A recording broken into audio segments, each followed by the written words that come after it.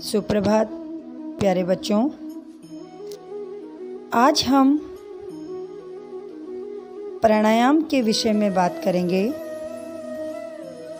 बेटा, श्वास को अंदर लेना, श्वास को बाहर छोड़ना और श्वास को रोकना। इन तीनों क्रियाओं के सामूहिक नाम को ही प्राणायाम कहा जाता है। प्राणायाम शब्द मुख्यतः दो शब्दों से मिलकर बना है, जिसमें कि प्राण, धन, आयाम हैं। प्राण का अर्थ है हमारी जीवनी शक्ति तथा आयाम का अर्थ है नियंत्रण करना। इस प्रकार प्राणायाम के द्वारा अपने प्राणों को नियंत्रित एवं संतुलित करना ही प्राणायाम कहलाता है। प्राणायामों के तहत आज हम दो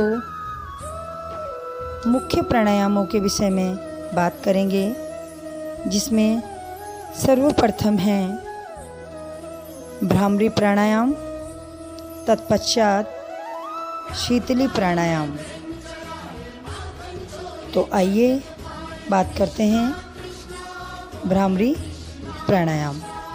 सर्वप्रथम किसी भी सुखासन में आप बैठ जाएँगे या अपने दाहिने पैर को अपने बाएँ पैर के थाई के ऊपर रखेंगे। और अपने बाएँ पैर को अपने दाहिने पैर की थाई के ऊपर रखेंगे।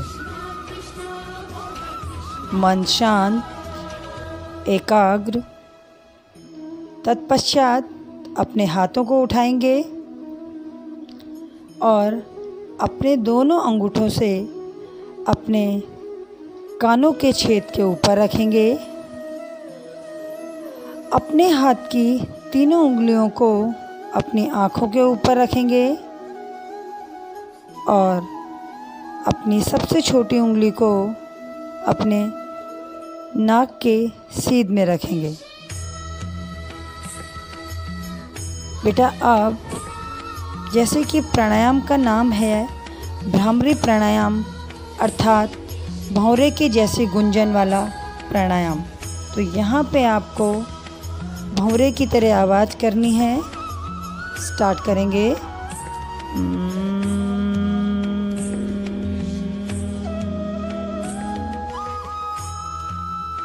एक बार और।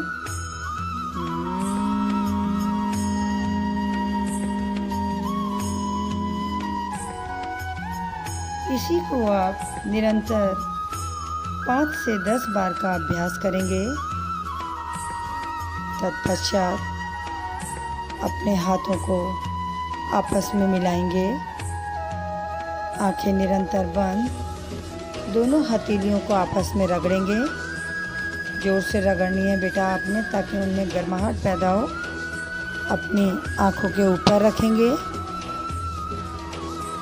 और धीरे धीरे अपनी आँखों को हथेलियों के अंदर खोलेंगे ताकि प्राणायाम के दौरान जो भी ऊर्जा प्राप्त हुई है, वो हमारी हथेलियों से रिफ्लेक्ट होकर, परिवर्तित होकर दोबारा हमारे शरीर में प्रवेश कर जाए। धीरे से हाथों को नीचे करेंगे। शांत इसी क्रम में अब हम करेंगे शीतली प्राणायाम, अर्थात शरीर को ठंडक पहुँचाने वाला प्राणायाम। यह प्राणायाम मुख्यतः ग्रीष्म ऋतु में किया जाता है, जिससे कि हमारा शरीर निरंतर शीतलता प्राप्त कर सके। बेटा, इस प्राणायाम के लिए सर्वप्रथम आप अपनी जीप को बाहर निकालेंगे, फिर उसको थोड़ा सा फोल्ड करेंगे। तो बेटा, अपनी जीप को बाहर निकालेंगे। पूरा जीप बाहर निकालनी है आपने, और फिर उसको थोड़ा सा मोड़ देंगे, और जीप से अंदर की ओर सांस भरेंगे।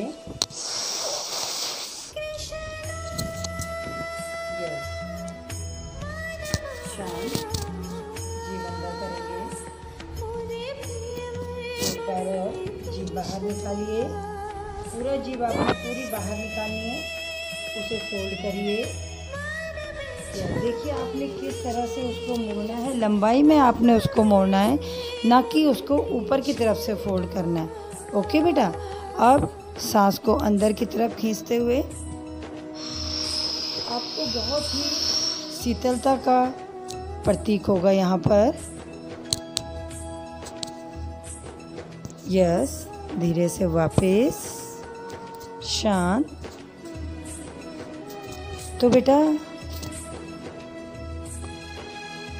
तो बेटा, आज हमने दो प्राणायामों के विषय में बात की, उनको देखा और समझा। आप इन दोनों प्राणायाम को अच्छे से देखेंगे और इनकी वीडियो बनाकर मैडम को सेंड करेंगे। ओके बेटा?